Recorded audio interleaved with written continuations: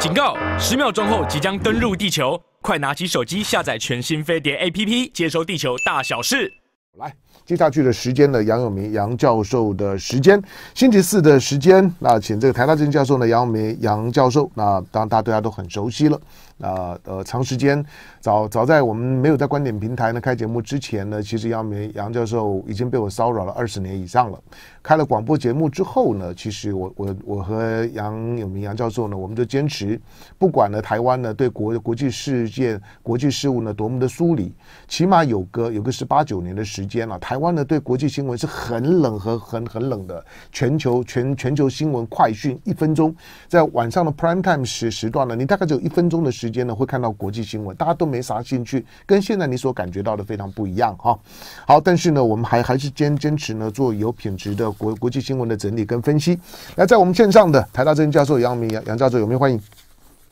哎，向龙，各位这个大家好，好来我们的新闻是最有品质的了。对，好，来，我们来，我们我们从从这个美国政治关注起。当然，呃，永明呢常呃在是是留美的，对对对美国的政治的那个那个基本的那个脉络跟流流动的把握，当然会会会比我要精准很多。那我们前两天前前天呢，在在全球派对里面呢，从《纽约时报》《纽约时报》呢对拜登的。对拜登的那份的民调，因为是《纽约时报》做的，所以我们就可以把政治意识形态这些东西呢，都都先放一边。我我我说那个呢，那那个是在民主党里面很明显的一个逼宫的动动作，那对拜登来讲压力一定非常大。不过呢，今天我我们先从呢，先从昨天呢晚上呢，呃，不只是美国，全球呢都在关注的美国的通膨率。美国的通膨率呢，不但呢没有缓和，不但没有走平，相反的谈到了九点一。这个九九九点一，第一个就是说，对美国来讲呢，对美国对拜登会怎么影响？这个九点一啊，超过原来大家认为五月份的八点六应该会涨到八点八，嗯。但没想到是九点一嗯。啊，所以这个冲击呃，我想第一个对于同时《纽约时报》登的民主党人的支持者百分之六十四不支持拜登在竞选二零二四啊，嗯。这个通膨六月份指数达到就是百分之九点一啊，等于是对拜登的支持率再下一层嗯啊，也就是说是每况愈下的这样一个打击。嗯那拜登所面临到的就是通膨，几乎把他的这个支持率都给吃掉了。他现在的支持率只剩下百分之三十三。嗯那这个三十三还是大概一个礼拜前的数字哈。你看，当这个 CPI 月份 CPI 九点一出来之后啊，嗯，呃，我我觉得拜登这个支持率可能会再往下掉，是的，这样子。那那他支持率往下掉，对一个政治人物，对这个要面临到其中选举，还打算要二零二四要竞选连任嗯的这个政治人物，美国总统拜登，这个是绝对最关心、最核心的议题。所以他要救他的这个支持率。嗯那有什么问题造成他支持率的下降？现在清楚了。当然，第一个经济、通膨、能源，啊，当然还有很多国内的混乱，嗯啊，从枪支到这个就是各个层面他的处理，其实还加上一个，在我们《纽约时报》看到的一个就是很很关键的因素，就是他的年龄，嗯这个很吊诡。嗯美国其实是非常强调呃没有年龄歧视的这个国家，嗯纯粹从你个人的能力。嗯，但是民调里面所显现，他的年龄反映出的是他的表现，他的健康。嗯。啊那这个东西就很难去说，比如说降中国关税啊，或者是说跑到中东去拜托沙特阿拉伯赶快增产这个石油啊，嗯。哦，就能产生这种短期的也许一些缓和通膨恶化的这个效应。嗯。虽然这两个事情他到现在都还没做到啊，那但是呢，他的健康、他的年龄的这个问题啊，我觉得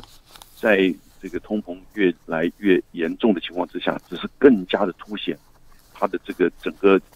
这个叫结构性的因素，他的健康跟他的年龄以及嗯加上他的这个执政的这个表现啊。嗯，所以呃，我看起来觉得，除非有真的，除非已经有奇迹了，嗯。呃，否则的话，他的启动选举至少在有一个院，也许众议院就会变成这个少数，嗯。而在这个启动选举之后呢，他是不是真的能够准备这个二零二四啊，就很大的问题。嗯，那因此，现在的这个情况就是百分之九点一的这个通膨的数字，除了对拜登的这个选情啊以及他美国的政治影响之外，而就是美国的经济啊，大概连那个就是最支持拜登的《纽约时报》的专栏作家就是克鲁曼都认为说，大概走向缓和的衰退了。嗯，他他是要缓和了，嗯，所以才说那个缓和的衰退。那这个经济衰退几乎已经大概是明确了。那经济衰退两个现象，你看到一个蛮吊诡，就是这这几个礼拜油价在往下掉，美国的这个就是说呃加油的这个油价也开始在往下掉。那但是那个掉到只是从也许一百四，就是一桶油价变一百三、一百四，掉了一百块左右。嗯，这就是经济衰退的前兆，因为大家就不再消费了，啊。然后呢，制造业这个订单减少，制造减少，所以油价就开始在衰，这个开始在有一点掉，但是没有说怎么掉到这个这个俄俄乌战争之前的那个状态。嗯。另另外一个问题就是，整个许多国家现在大概主要的生这个制造业国家啊，主要的大的这个经济体，除了中国大陆之外，每一个国家都在呈现贸易逆差。哦，那最严重的应该。就是像是印度、韩国啊，然后呢，连德国，连德的德国都出现了四十年来的贸易逆差。对，嗯，那德国的数字虽然不多，只有大概十亿、十多亿欧元，嗯，啊，但是那个是几十年没没有错，四十年来的这个贸易逆差的出现。一方面当然是进口的这个价钱的能源的增加，那另外一方面呢是出口的这个减少，嗯，那整个供应链受到。就是说，油价，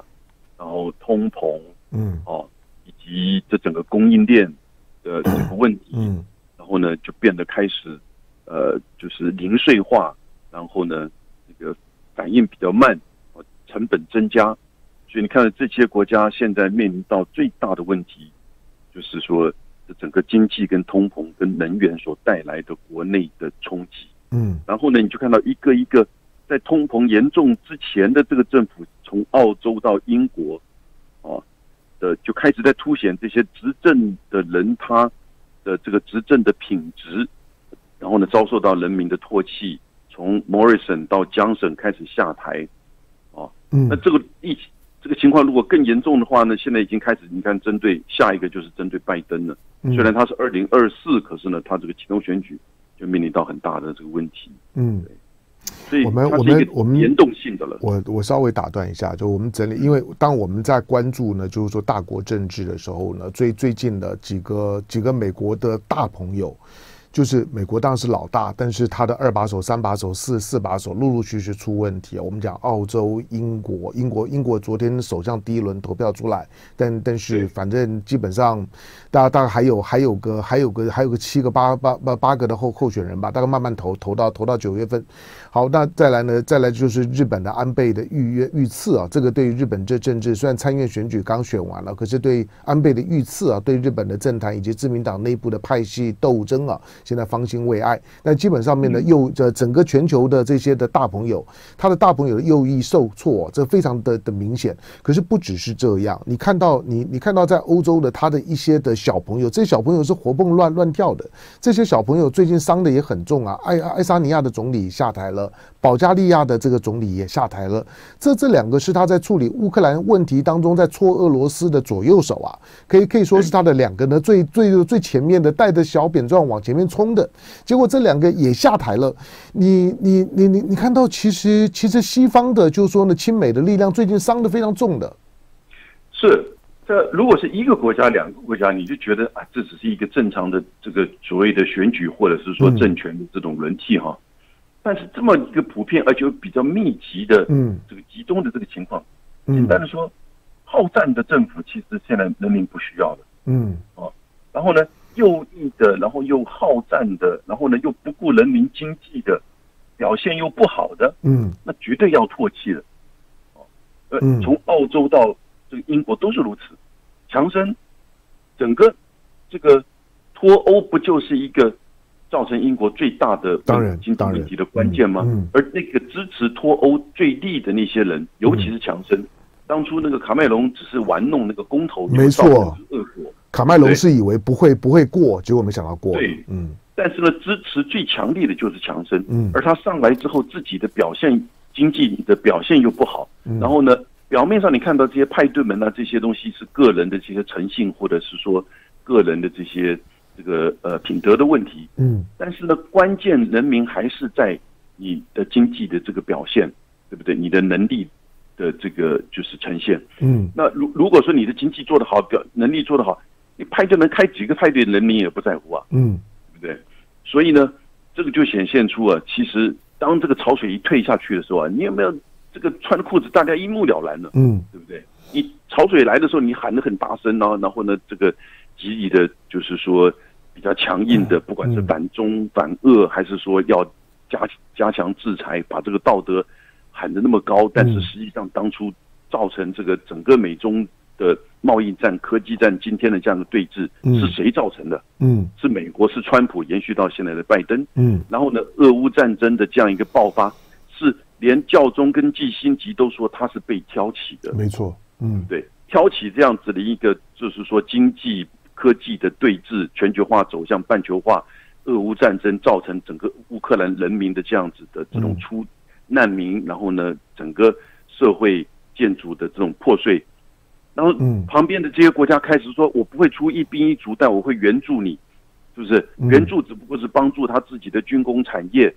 啊，可是呢，经济的援助却这个迟迟不愿意提供。嗯，然后呢，就高喊的对俄罗斯的这个制裁，啊，没有想到俄罗斯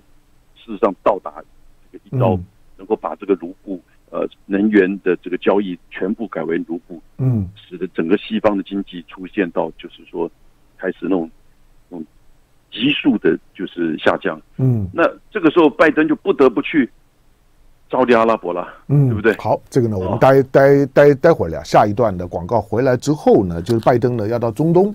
这次到了中东了，大家觉得你真是严着脸啊，真的是真的是呃，用用用很多的很多的网络语言来讲的，反正呢亲中呢叫舔舔中，那那那亲美呢，大概很多人不会说他是是舔美，不过这次拜登呢要去舔沙。舔沙特阿拉伯，舔到这样的地地步，大家就恶心啊！好，不过呢，刚刚讲就是说呢，我我我对于美国的美国的通膨啊，我我现在觉得呢，拜登呢真的是蠢到无以复加的地步，他没有办法，他没有办法去处理呢跟跟中国之之间的关税问题。你自己你自己都已经说那是川普关税了，你把它你自己降下来就好了嘛，因为那个东西呢大概都是两两层的关税，对消费者影响很大。第二个，我是我现在觉得一点道理都没有，因为美元现在是超级强势啊。你你你只要把关税打掉了之后呢，其实美国人买买买进口商品是很便宜的。你现在美元的指数已经到一百零八了，涨一成啊，关税两成就差三成，这个通膨啊，完全是自己政策失败的结果。来进广告。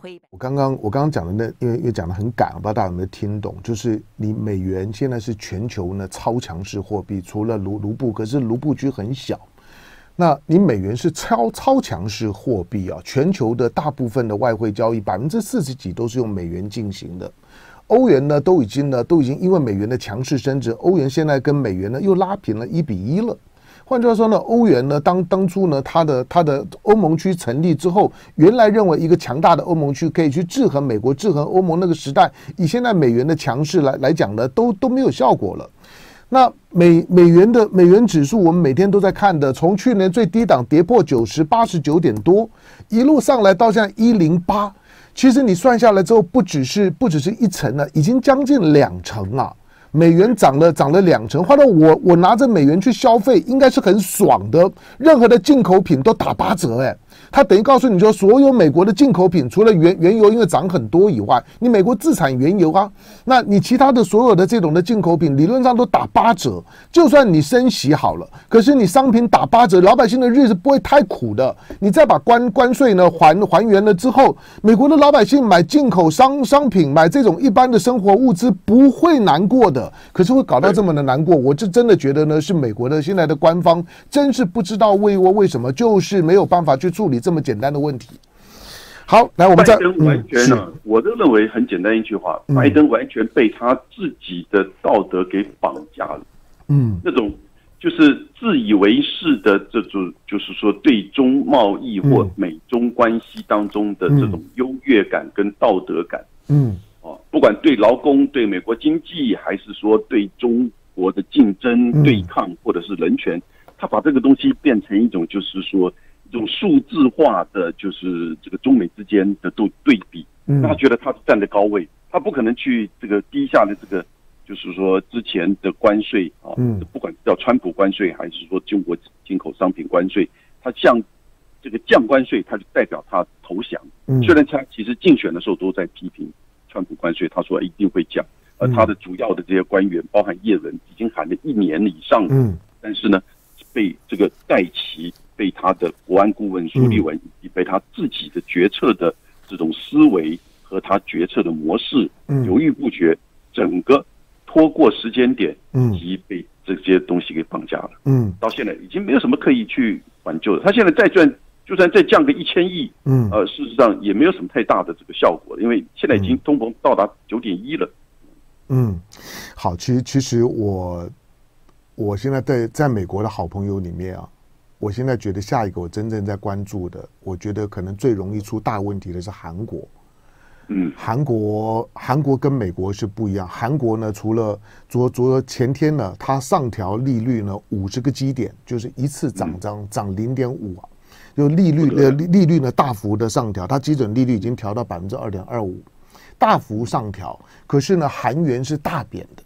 你的你的货币贬值，你的利率呢上上调，那个老老百姓绝对苦不堪言。所以现在看到呢，看到刚刚上任的尹锡悦，他才上来两个月啊，两个月呢，他的支持度竟然跌掉了一半，从呢从那比较将近六六六十的满意度，现在大概剩下三三这三十几了，就是四成都都不到了。这个尹尹锡悦接下以他现在的民调的下滑速度啊。虽然韩国总统任期呢一任五年啊，不能连连任啊，可是以韩国的这种的国民性跟过去几任的总统的这种的他们的执政当中的轨迹来看，尹锡悦不用等到第二年，我我我认为今年下半年之后呢，韩国社会当中来讲，反尹锡悦的声浪可能就会非常非常高，他接下去四年怎么过都很难想象。好，不，我们回头来来来关注，来我们我们为为为拜登呢去去舔舔沙。来祈福，那他当然他已经到了以色列。我昨天看的 C N，他已经到了以色列啊。美国的媒体，我看到 Fox News 很坏，Fox News News News 说呢，说。当我们的当我们的通膨到九点一的时候，拜登竟然在以色列。好，Fox News 呢就把两个框了摆在那里，一边呢是九九点一的通膨，一边呢是他在呢以色列的机场呢接受欢迎。那个反正是 Fox News 的操操作方式。可是他这次呢到中东以色列去，但是呢最主要是沙地阿拉伯。对，会有会有什么效果？我觉得真的效果并不大。嗯。他要达成几个目标哈，第一个当然就是油了，嗯，希望 OPEC 沙特阿拉伯能够增产，嗯，那可是第一个就是这些国家现在的这个储存量其实已经不断的就是在掏空，嗯，他也不太可能一下子增产太多。第二个就是你增产会破坏这个油价，那到后来其实对这些产油国是一个大的这个损失。呃，所以呢，可是现在啊，沙特阿拉伯的这个就是出口国哈。那中国大陆已经超越美国，成为主要的这个进口，从沙特阿拉伯不只是从俄罗斯了。嗯，所以美国现在对沙特阿拉伯跟欧派的影响已经大不如以往。当然，那可是呢，这个沙特阿拉伯这个一方面是要什么呢？要这个就是美国支持呃沙特阿拉伯跟伊朗之间的这个对抗。嗯，这个是美拜登来的第二个目标，也就是说希望能够结合以色列和逊尼派为主的这些国家。从沙阿拉要阿拉伯到阿联酋，嗯，哦，到约旦这些逊尼派为主的国家，然后呢去对抗伊朗，因为美国看起来是不会重返伊朗核子协议，而伊朗呢也开始强化它的这些浓缩铀的进行。美国美国也把中俄伊这三国这个重送作堆啊变成三国的这个大这个欧陆的这个大国联盟。那所以呢，它需要去结合在中东地区的。这个反什叶派、反伊朗的这样的一个结合，那要去缓和以以色列跟沙特阿拉伯之间的这个关系。现在一个说法，他现在要重新又卖这个比较具有杀伤性、破坏性的这个武器给沙特阿拉伯，这怎么回事？因为沙特阿拉伯在主导对也门的这个攻击，嗯啊，也门的这个就是青年这个军组织，然后呢造成严重的人造人道危机。嗯这是从拜登啊川普开始，拜登在今去年的时候呢，呃，停止出售这些具有这个攻击性、破坏性的，就像飞弹呐、这些武器。嗯但是呢，现在决定要恢复提供啊，也就是说，他以也门人的生命来去换取沙特阿拉伯对他的这个支持，嗯支持他和以色列和缓，支持他增加这个石油，然后支持美国主导的对抗伊朗，嗯就这是拜登版的重返中东。嗯。可是呢，这算盘打得好像很好，但不可能做得到，就是说实际上他的这种呃，像当初奥巴马重返亚洲一样，嗯。找找出了这个联盟，结果他弄出了一个中东版的这个北约，你知道哪四个国家吗？嗯。美国、以色列、哦、阿联酋和印度，嗯。对不对？所以你连沙特阿拉伯都不愿意参加，嗯。约旦都不愿意参加，嗯。哦，所以这变成一个，他其实来这边只有一个目的，就是你赶快多生产一点石油吧。但是嗯能够达成吗？连美国的所有的媒体都在质疑。但拜登，因为我我觉得他他跟他跟特朗普啊，因为都是他们的政治意识跟观念的形成都是在冷战时代，所以你会发现这两个人在执政的时候，虽然他们的立场不同，可是操作模式一模一样，都都都是非常非常冷战的思维的方式。那拜登呢，就是呢，不断的呢寻求结盟，结盟会让他觉得有安全感，所以你看他到到处呢，就是呢用拉帮结结派的方式，结果呢觉得觉得布下天罗地网啊，让你让你俄罗斯、中国插翅难难飞，一出门就碰到网子。这个大概是呢拜登的操作的方式。可是这里面呢，你结盟终究我过过去我们讲过，结盟结结盟本身呢的这种经济理理论，你要你你是要有很多的筹码的。可是美国呢，现在呢，第一个相对国力呢，已经已经大不如前，因为中国现在已经已经追上一些以今年二零二二年呢的经济走势，显然跟美国的预期不一样。虽然美元大幅的升值啊，对它以美元计价的 GDP 是有利的，可是呢，如果以总体国力来来讲，那以及今年的今年下半年的中国的经济的预判来看，今年的中美之间的 GDP 呢势必会进一步的拉近。好，但是呢，他到他到沙烏地，你你你觉得沙烏地他去沙烏地？还有没有另外一种可能，就是说沙烏地最最近跟中国走的太近了，包括呢，包括沙烏地，你要是再不卖武器给我，我跟中国买可以吧？中国的 FC 三三十一就是接接接近呢所谓的歼歼三五，我我我跟中只要只要跟中国买了买了高高阶军品之后，那个对美国来讲，沙烏地可是长时间都是美国的第一大的军火采购国啊。中国在中东啊是非常特别的，嗯它可以同时的跟以色列逊尼派、什叶派交往、做朋友、进行贸易，嗯，他还可以同同同情巴勒斯坦。哎，还可以同时帮他们铺桥造路、做基础建设。对，嗯啊，然后呢，这个所以中国在这边也也没有像是冷战时期在这边这个做分化、做政变啊，然后去这个搞斗争啊这样子。嗯。然后最重要是中国对中东也没有什么安全上的威胁，直接上的这种安全上的威胁，所以中东对中国而言其实是一个石油出口国、贸易的往来国以及科技的合作国。以色列许多的科技半导体公司都在中国设最大的厂。嗯所以这样子的一个情况，美国到中东要去分化中东这两边逊尼派、什叶派来去对抗中国，那个效果第一个有限。嗯因此，美国必须要把中国跟伊朗做连结嗯啊，因为伊朗对中对中东而言，就是对逊尼派而言是最大的威胁。那个什叶派、逊尼派的斗争也长达几百年、上千年。嗯然后，然后呢，以色列也担心伊朗的发展和计划，所以最近这几呃一两年，以色列的这个情报组织 Mossad 嗯，那不断的在暗杀伊伊朗的这些，比如说核没错科学家或者是错这个国民卫队的这个高官，嗯，苏雷曼尼在，嗯。甚至是在这个还有在德黑兰伊朗的首都里面都能进行这个暗杀。所以，如果把中国跟伊朗做结合，你当然就在这中东制造了一个，就是说它背后伊朗背后真正的恶魔是中国。嗯但我前面刚刚讲的，对其他这些逊尼派国家而言，它的基础建设、它的出、它的出能源的出口、它的经济科技的合作对象，也是中国大陆啊，嗯对不对？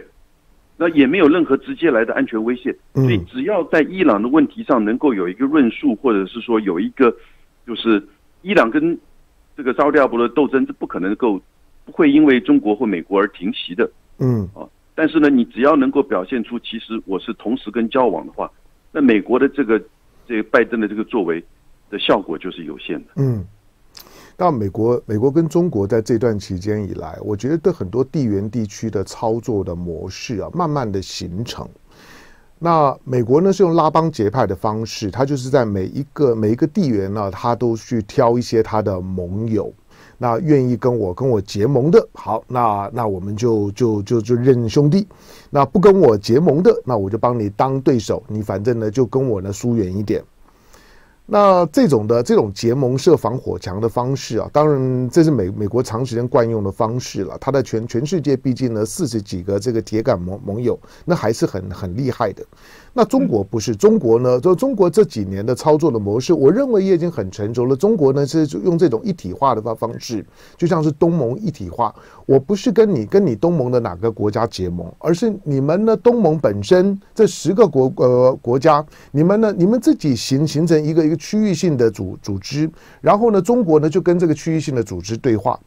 中国呢对南太也也是一样。中国呢，就是在南太呢寻求，就是说，你不要让我一个一个跟你，因为你们你们之间的这些呢，都有一些恩恩怨怨，我很很难处理。你们自己形成一个平台，中国跟这个平台对话。中国现在呢，对中亚跟中东呢也是一样。中国在在中东呢，也是寻求呢，就是阿拉伯世界的一体化。就是你们你们内部有逊尼派有什叶派的矛矛盾，这个我很难处理。但是如果你们能够寻求一个一体化的平台，中国呢跟这个平台对话，而也同时也有助于呢，就是说整个的回教回教世界的团结。中国是用这种方式呢，在在处理事情。那我觉得效果如何？现在看起来，因为在东盟非常的成功，所以它会不会扩散了？就是说值得呢进一步的关注。好，但是你看到呢，就说呢拜拜登呢去沙乌地。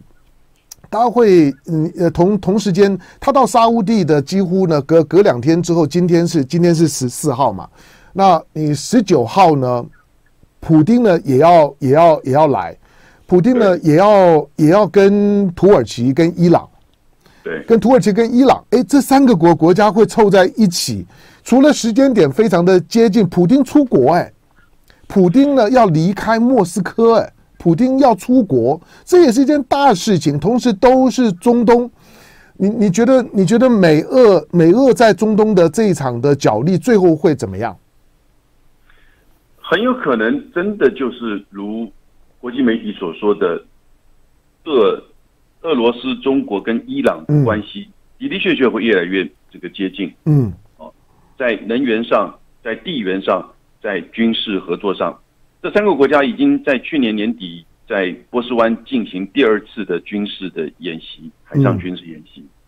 但是呢，呃，同时这这三这个中国跟俄罗斯也跟沙特阿拉伯跟这些国家其实维持好的关系，也没有安全上的威胁，也是经济上、科技上的往来的伙伴。嗯，那关键其实也就是伊朗跟他们之间的这种对抗。嗯，所以这样子的这种中俄伊的结合，只不过是说因为地缘的关系啊。因为这个能源，因为这个科技的这个，因为经济的因素，呃，加加强彼此之间的合作，而不是采取对抗沙特阿拉伯的，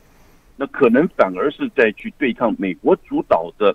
就是中东的这种结合。嗯，但是呢，就是说美国愿意在这里面下多大的这个力量，嗯，美国的影响力还不是是不是能够如以往，就很难讲。好，当然今天呢，我们可能没有没有时间谈到，我大家可以再留意一下，现在现在正在召开的太平洋岛国论坛。哦，对，太平洋岛国论论坛昨昨昨天呢，好久好久不见的就贺锦丽透过呢视讯代表美国向这个太平洋岛国论坛的讲话，当然就把中国臭骂了一臭骂了一顿了。就觉得呢，中中国呢是太平洋的搅屎棍，他他们有他们他没有点名中国，但大概是是是那个意思。可是呢，太平洋岛国反了，你知道吗？就是呢，你看到二零一九年跟中国建交的两个国国家，吉里巴斯干脆退出太平洋岛国论坛，直接退出。然后呢，这个所罗门呢更有意思，说所罗门呢让六个中国的顾问呢进了所罗门，拒绝了五个澳洲的顾问。哇，澳洲呢接接下去呢不知道怎么跟所罗门相处了，这些都是大事情。感谢永明，下回聊。